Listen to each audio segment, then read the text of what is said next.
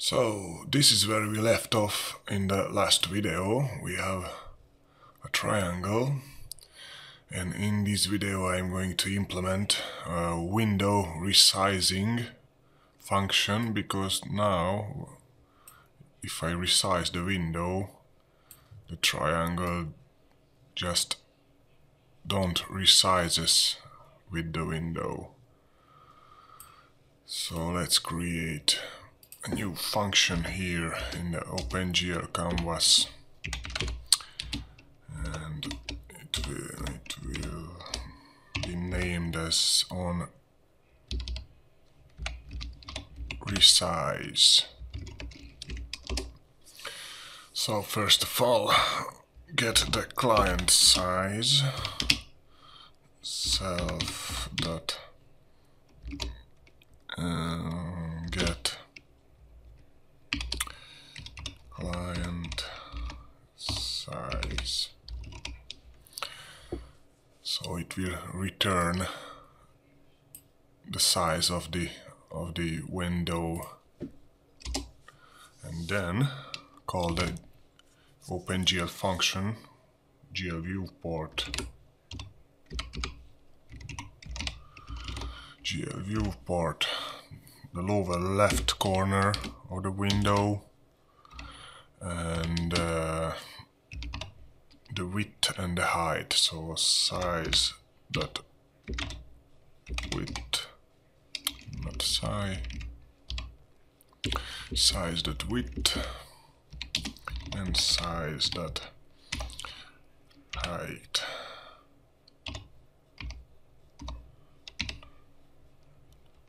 Size dot height. And let's bind this event. So self dot bind wx dot uh, evt underscore size yes and self dot on resize but remember that we don't need these uh, brackets here so just delete them so let me see what we have now.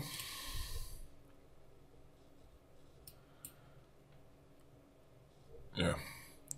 Okay. I just forgot to give it the second argument to on resize which is the event. Every time you bind a function to an event when you define that function like, here on resize you the second part uh, argument uh, just put an EVT or event. Okay now it works but still not resizing properly it, ju it just jumps. And I scale the window.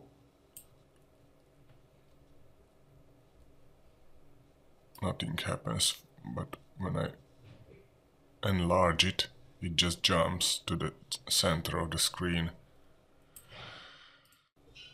So to solve that problem here when we create when we call the uh, wx frame init method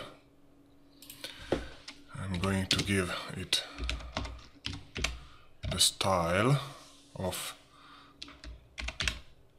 default um, underscore frame underscore style. I, yes of course it needs the wx dot default frame style.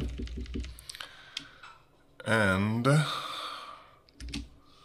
mm, with the binary uh, or operator.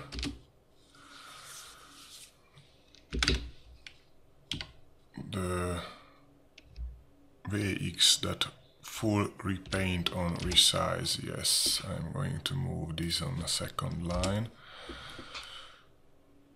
So style equals wx.default frame style then this pipe symbol which is the binary or and wx that full repaint on resize. So now it should work correctly. Yes.